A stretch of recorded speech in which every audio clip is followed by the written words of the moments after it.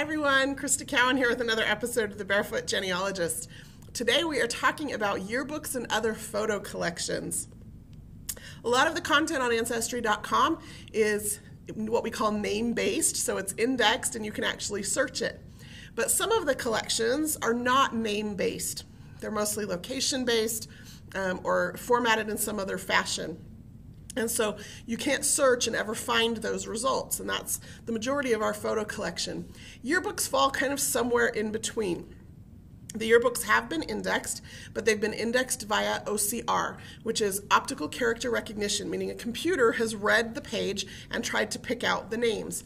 And with our yearbook collections, we've gotten really, really good at this kind of technology, but there are still some things um, that you can do to make sure that you're finding what it is that you're looking for. So today we're going to spend a little bit of time with the yearbooks. We're going to look at a few of our other photo collections. I'll show you how to search and how to browse. So let's dive in. For those of you who are new to Ancestry.com, the first thing you're going to need to know is how to find these kind of records. Again, they're not going to necessarily always surface in search. So the best thing that you can do is to go to the card catalog. The card catalog is the very last option under your search menu on Ancestry.com. Then when you get there, you're going to want to filter that list of 31,000 databases down to the ones that are pertinent to what it is that you're looking for. In this case, it's going to be the collection type of pictures. And then once you find the database that you're looking for, you can either search it or browse it, and I'll show you how to do that um, to find what it is that you're searching for. So let's come over here to the website. Again, for those of you who don't know where the card catalog is, you're going to find it here under search. Scroll down to card catalog. Go ahead and click on that. Let's make my screen a little bigger for you. Well, a little more space anyway. okay, the collection, the filter collections is over here on the left-hand side. You'll see we have a category named pictures. So we're going to go from 31,000 databases with just one click down to 34 databases.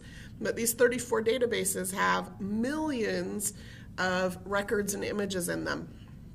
The first, of course, is going to be the, U.S. School Yearbooks collection.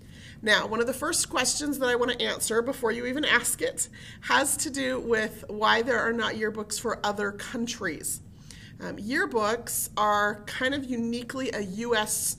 phenomenon.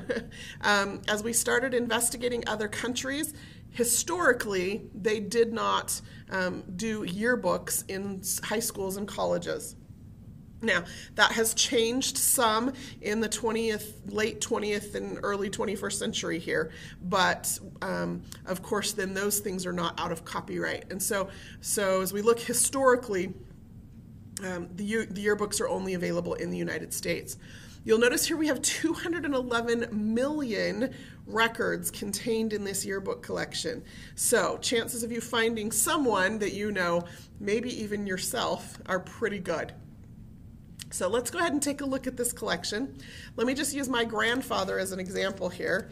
So my grandfather, his name officially is Fred, but sometimes he's listed as Frederick in some records. So I've gone ahead and marked um, put his surname in or his given name in there with an asterisk. That's a wild card.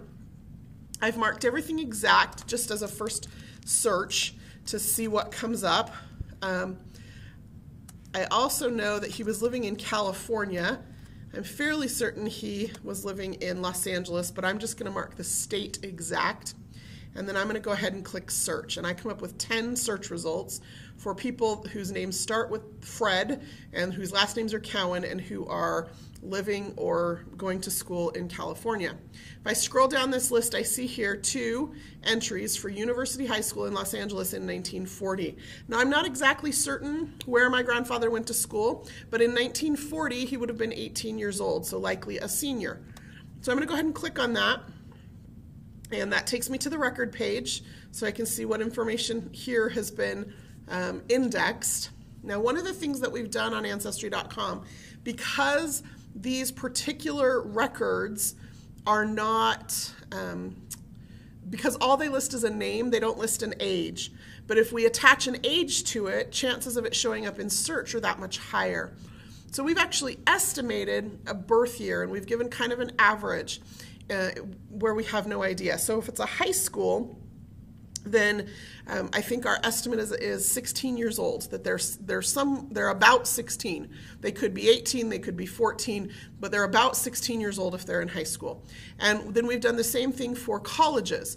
We say they're about 20 years old, so they could be 18, they could be 22 or 23, but um, we're giving that estimate so that we can calculate an approximate birth year so that these can surface better when you search. So, um, this happens to be a high school yearbook, but the name of the high school is university. And so, um, our algorithm has assumed, just because that's the first word there, that this is a college yearbook and assigned the age of 20.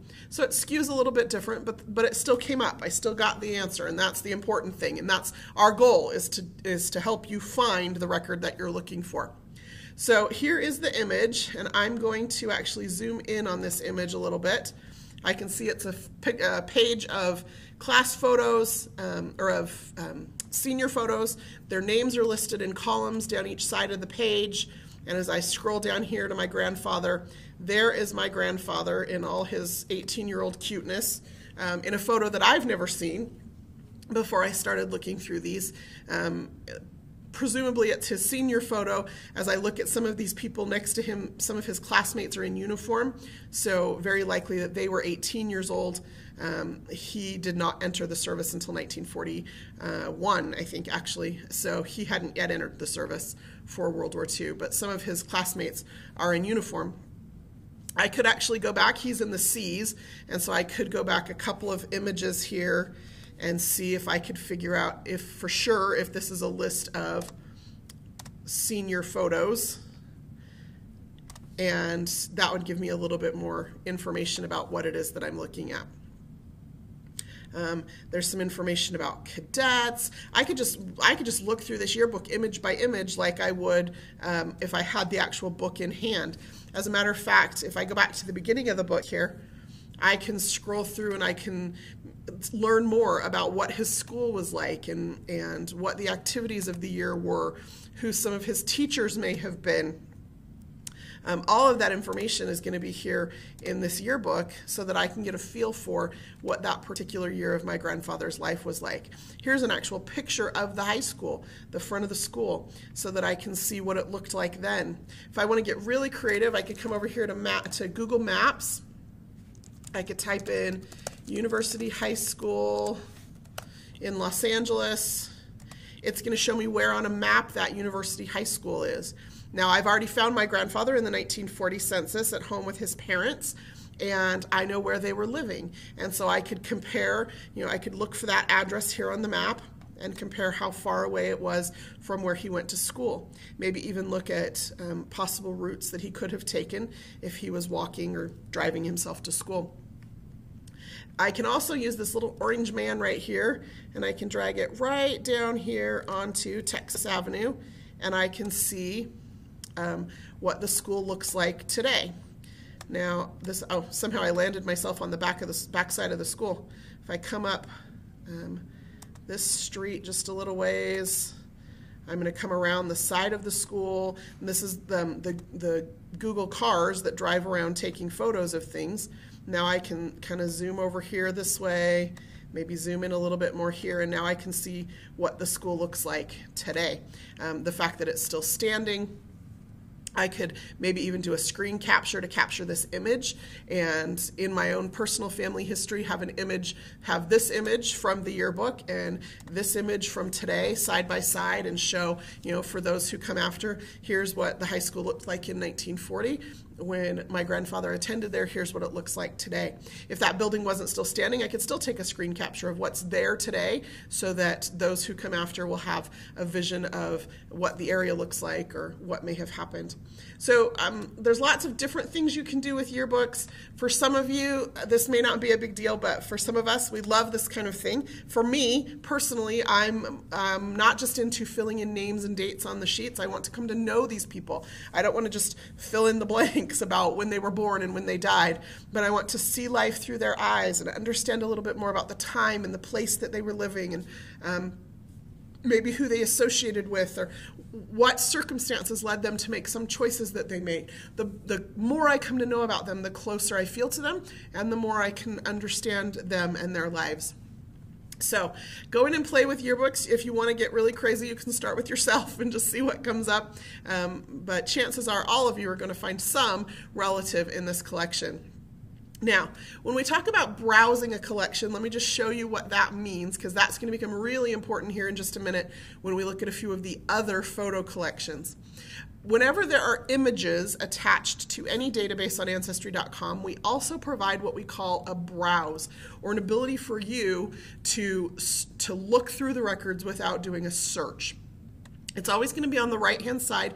In this case, because yearbooks get a lot of traction and publicity, um, there's, there's some information about our celebrity yearbook um, promotion and who we found, what famous people we found in those those yearbooks, and it's kind of amusing. um, it's actually really amusing.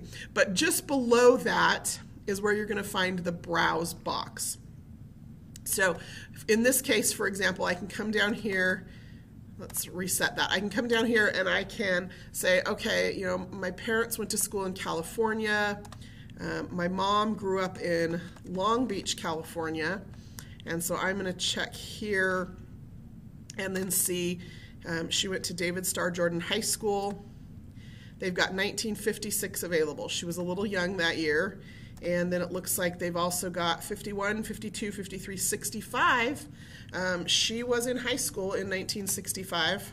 And so I can click on that. And again, then I'm just using these image arrows over here to go image by image through this particular yearbook to see if I can, to, again, to see if I can find something that might not have been caught uh, by the OCR indexing machines, but also to get a feel for what it looked like when she went to school there, um, what some of the activities were of the time. Uh, my mom is still living, so I could maybe take this to her and have her go through it. And my guess is, just knowing the way that my mom's memory works, which is really, really well, uh, as we, if we were to go through this, there would be stories for days as she saw pictures and faces of people that she knew and loved and had memories of. Now, one of the things you may be noticing as I'm going image by image through this particular yearbook is that there are um, it's it is an actual yearbook for some guy named Bill, and people have signed it. Uh, not all of our yearbooks are that way. Some of them came to us um, through various avenues where they were unused yearbooks, but a lot of them are used yearbooks. Um, the people have either passed away or the yearbooks ended up in flea markets or wherever, and people collect them, and then we have obtained those and digitized those. So another reason for going through these, what would be really amusing to me if I was to go page by page through this yearbook would be to find out that my mom or my aunt, her older sister, who also went to school there at the time, um, had known this guy Bill and had actually signed his yearbook. What a scream that would be to be able to take that to them and say, look, do you remember writing this? Or, or look at how silly this was, or what did you mean when you said this? So it's just a delightful way to help encourage family stories, to help see into the lives of um, your friends and your relatives. And um, some people have mentioned one of the uses that they have for these yearbooks. Um, a lot of records for the 1900s, particularly the latter half, um, the you know 1950 through 2000, are still considered still considered private. They're they're still protected by privacy laws. And and so it's a little bit difficult sometimes to get information about people who were living from 1950 to 2000.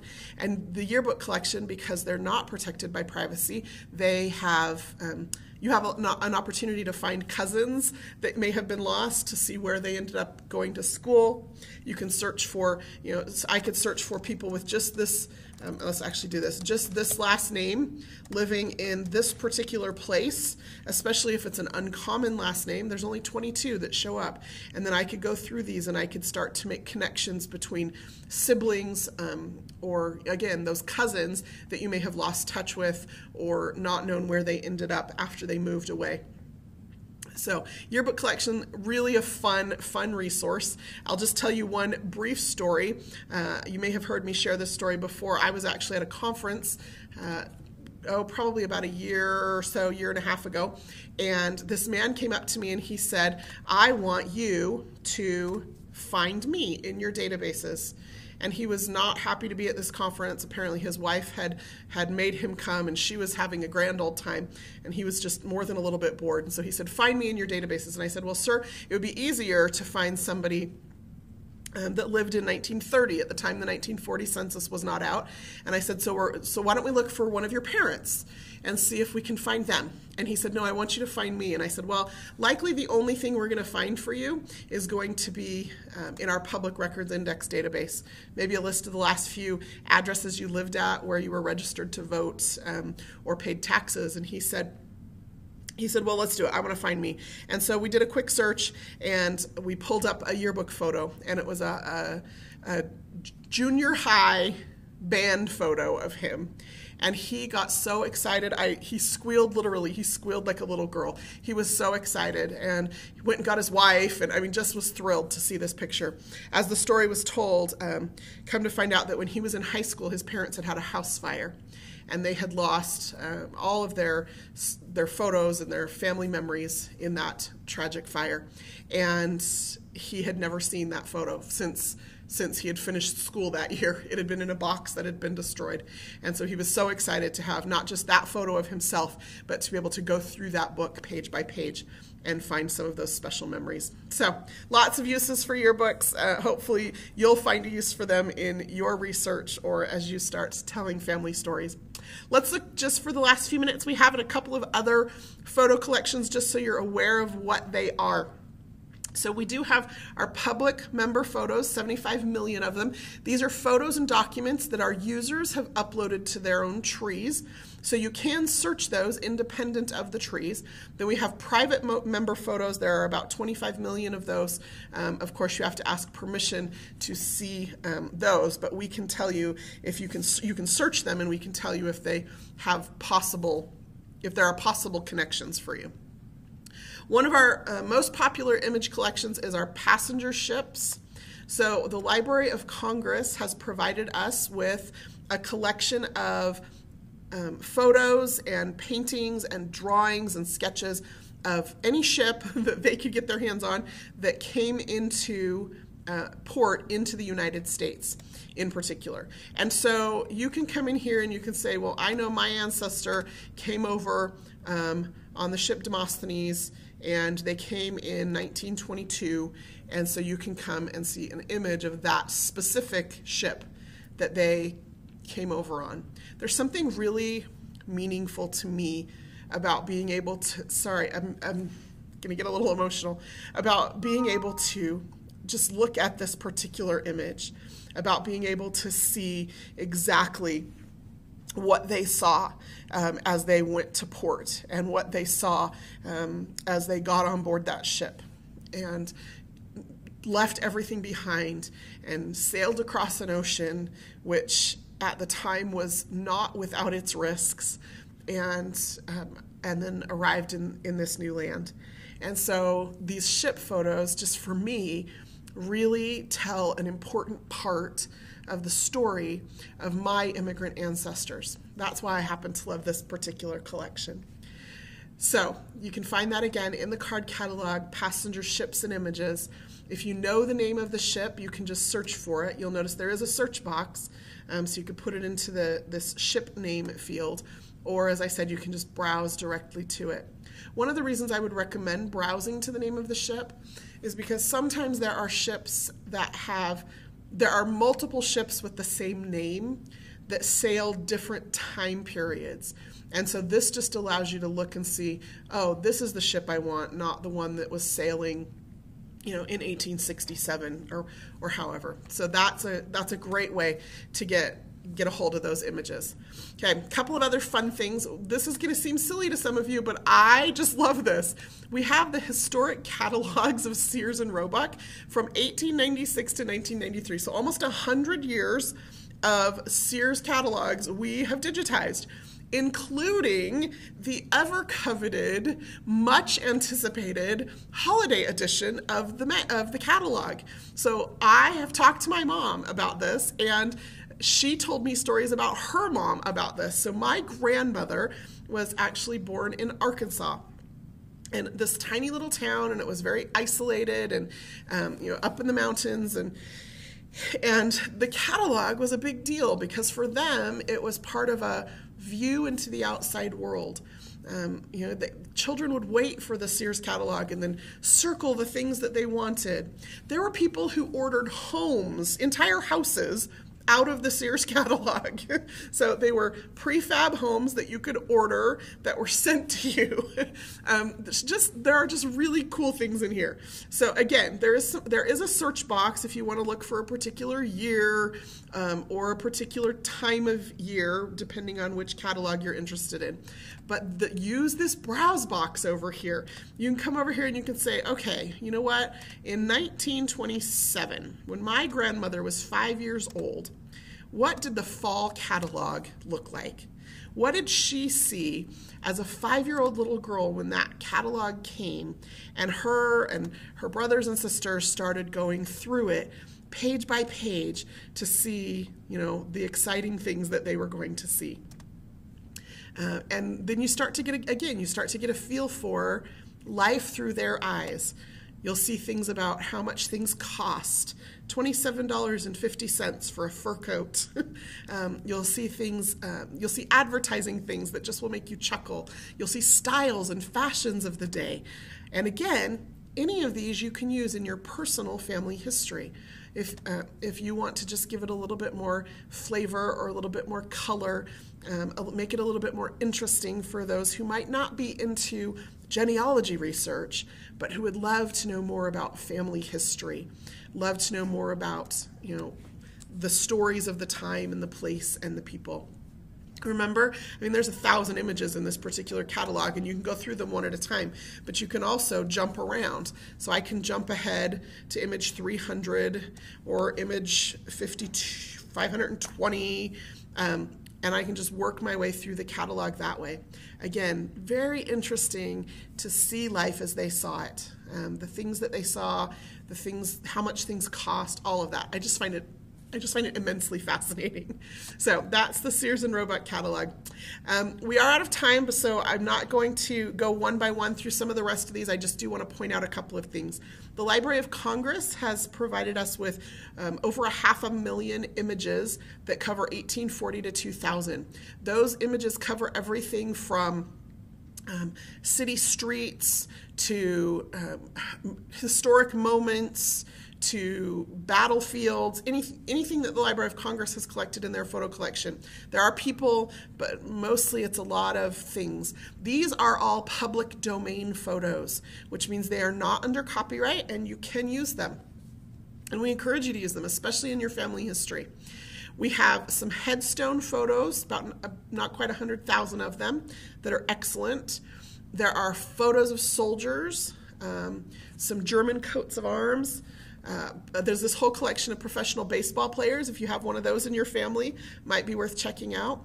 And then the final thing I want to point out today is our postcard collection.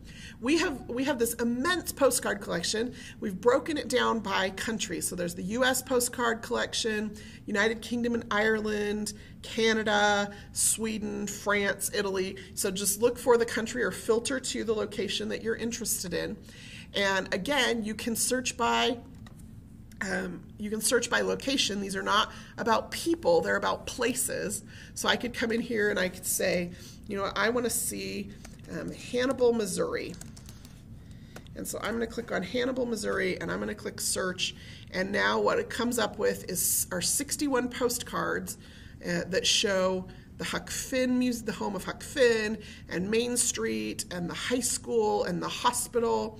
And if my family was from this place, now, again, now I'm seeing what they saw through their eyes a little bit. A lot of these are very historic.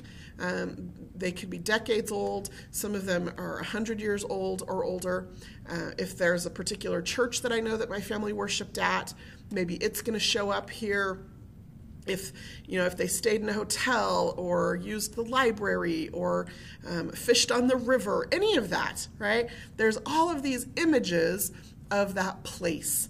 And again, it just gives more flavor and color and um, life to the family history stories that we're collecting and that we are telling. And so please use these uh, for those purposes. Use these to just um, really not just see them for yourself, but as you share these things with your family and include them in your family history to help um, give them give them that that image or that visual of the lives that your the lives that your ancestor lived. So that is how we use the image collections. Again, you're going to find it in the card catalog under search. You're going to click on pictures to filter it down to those 30 some odd databases that contain images, and then you can either search or browse each collection to find the things that you're looking for to help you not just tell your family story better, but in many cases, discover more about your family story for yourself. That's all we have time for today. If you have suggestions for topics that you'd like to see covered in future broadcasts, please, please send me an email at ask at ancestry.com. I am putting together the December calendar right now, um, but we'll take those suggestions at any time. And then you can check on the ancestry.com Facebook page, click on the events tab. You should see a list of all future topics, dates, and times so that you can RSVP to join us next time. Until next time, this is Crista Cowan. Have fun climbing your family tree.